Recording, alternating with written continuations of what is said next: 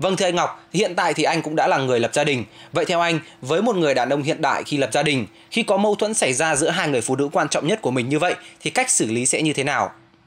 Đối thoại, đối thoại, đối thoại và tìm ra được những điểm chung và gạt đi những cái điểm nào mà uh, nó cản trở cho mối quan hệ đấy. Bởi vì dù sao khi cái người con dâu ấy mình lấy vợ về ấy, thì đấy là là người người ở trong nhà rồi và uh, người người mẹ bằng cách nào cũng phải chấp nhận người vợ đấy bởi vì đây là ta lựa chọn quan điểm của Á Đông là gì? Là cha mẹ là đâu con ngồi đấy? Bố và mẹ can thiệp vào cái việc con lấy vợ lấy chồng. Và ảnh hưởng rất nhiều đến cái việc con cái về sau ứng xử với cả chồng hoặc vợ như thế nào trong gia đình. Nhưng ở phương Tây khác và người đàn ông hiện đại cũng như người phụ nữ hiện đại khác tính tự lập của họ trong tất cả mọi vấn đề từ tài chính cho đến việc công việc và cách hành xử của họ trong xã hội là rất cao. Chính vì thế mà uh, nó cũng thể cũng có thể gây ra những cái những cái rắc rối trong quan hệ đối với mẹ chồng hoặc là bố chồng.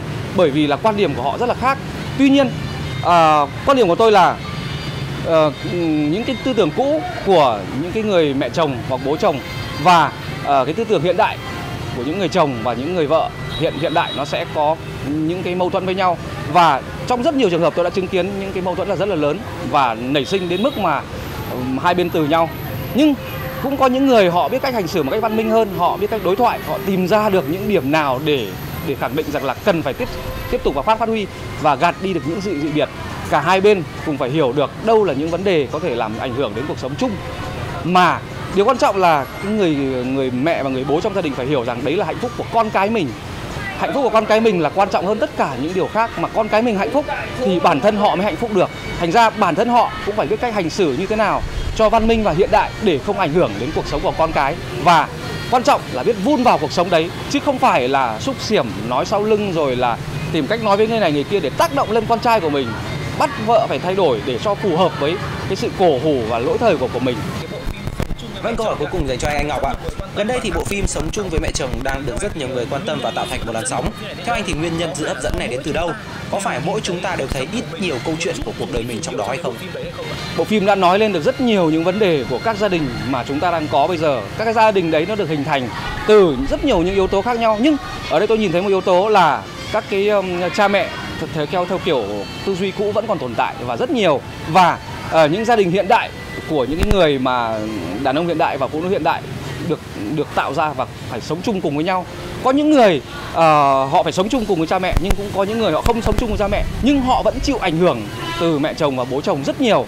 Và tất cả những điều đấy nó theo tôi nó tạo ra những cái um, những cái mâu thuẫn trong gia đình nó khiến cho hạnh phúc của gia đình bị ảnh hưởng và nó kéo lùi sự phát triển của xã hội. Bởi vì mỗi gia đình là tế bào của xã hội. Thành ra là Ờ, rất nhiều người xem bộ phim và phát hiện ra bản thân mình ở trong đấy. Tuy nhiên À, rất nhiều người nói với tôi là bộ phim cũng có một số những cái chi tiết mà mang tính cường điệu hoặc là cực đoan thái quá thể hiện cái cách ờ, hành xử của bà mẹ chồng cũng như là của con dâu và tạo ra một cuộc chiến tranh trong trong trong quan hệ gia đình đấy. Nhưng mà tôi nghĩ rằng là uh, kể cả cường điệu đi chăng nữa thì bộ phim cũng đã nói đúng được những vấn đề về mối quan hệ trong gia đình. Và thực ra bộ phim đưa ra vấn đề đấy không phải là để không phải là để chúng ta nhìn thấy vấn đề đấy đâu, mà là để chúng ta cùng hiểu và cùng thông cảm. Bà mẹ cũng có những cái lý của riêng của mình, vì vì bà mẹ được sinh ra, lớn lên và được dạy dỗ theo một kiểu giáo dục riêng.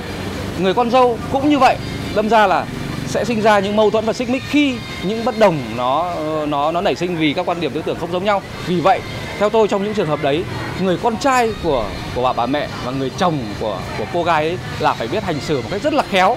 Như vậy làm chồng cũng không đơn giản đâu. Vâng, làm con dâu không đơn giản và làm chồng lại càng khó hơn. Vâng xin cảm anh ạ. Vâng thưa quý vị và các bạn vừa rồi là những chia sẻ của nhà báo anh ngọc về vấn đề mẹ chồng nàng dâu tây và mẹ chồng nàng dâu ta. Đến đây thì chương trình của chúng tôi xin phép được khép lại. Cảm ơn quý vị và các bạn đã quan tâm theo dõi